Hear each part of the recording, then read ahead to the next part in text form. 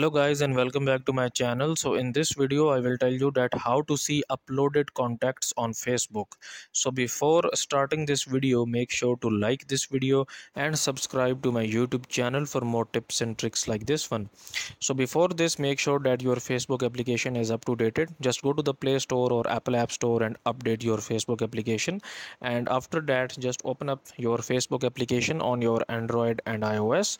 And then tap on your profile image at the top right here and scroll down and here you will see this friends option. So just tap on this one and then tap on this uh, suggestion options okay? So now there is uh, not any option of facebook that will basically show you uh, that which facebook accounts are in your contacts okay?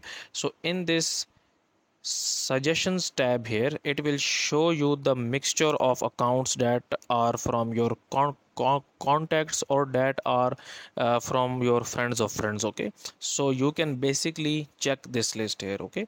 So that's it for this video guys. If you find it useful kindly like this video and subscribe to my channel and i will meet you in the next video